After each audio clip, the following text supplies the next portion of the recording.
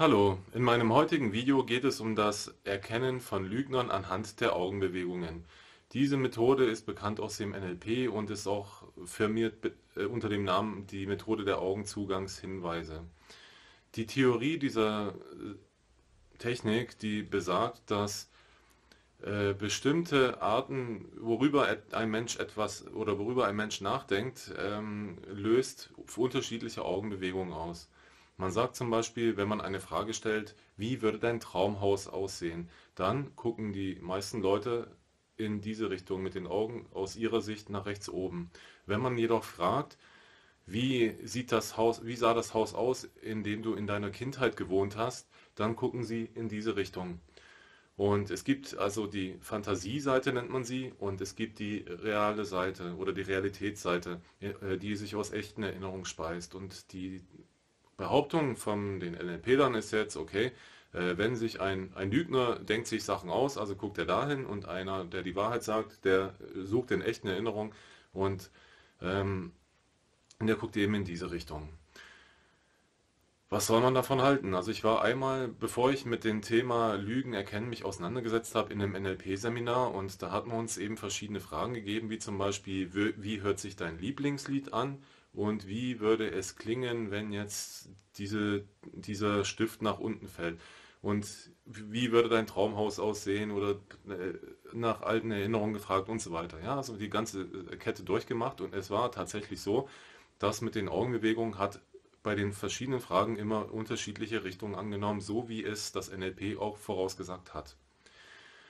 Allerdings bezieht sich das nur auf eine Frage. Und ähm, ich weiß nicht, ob das bei zehn Fragen auch konstant so bleiben würde. Und das andere ist, Lügner erzählen nicht zwangsläufig ausgedachte Geschichten, sondern es kann ja sein, dass sie echte Erinnerungen mit äh, Fantasieanteilen vermischen oder einfach anstatt das zu erzählen, was sie gestern wirklich gemacht haben, das erzählen, was sie vorgestern gemacht haben. Deswegen schon mal ein Risiko. Aber brauchen wir jetzt gar nicht mehr drüber zu diskutieren. Denn es gibt eine wissenschaftliche Studie, wo dieses komplette Verfahren widerlegt wurde. So einfach ist es. Den Link dazu, den werde ich euch in der Beschreibung mit posten. Deswegen, ja, ich fasse es nochmal zusammen. Die Methode der Augenzugangshinweise funktioniert nicht beim Erkennen von Lügen.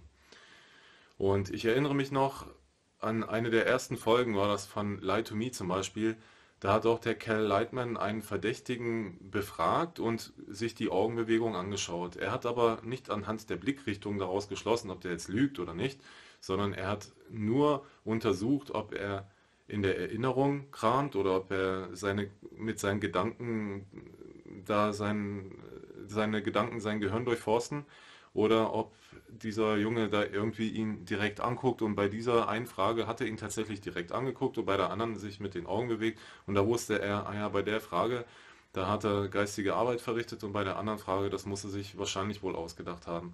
Aber es ging nicht um die Augenbewegungen.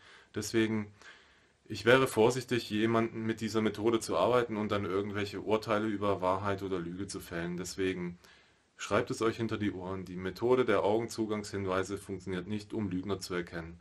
Tja, schade, ich hätte es nämlich auch, äh, wäre auch gern durch die Welt gegangen mit dem Wissen, dass da der lügt und der nicht. Aber naja, ist nun mal so. Und ähm, wenn, sobald ich irgendeine Methode gefunden habe, mit der man einen Lügner sicher entlarven kann, seid ihr die Ersten, die es hier erfahren werdet. Vielen Dank fürs Zuschauen, macht's gut.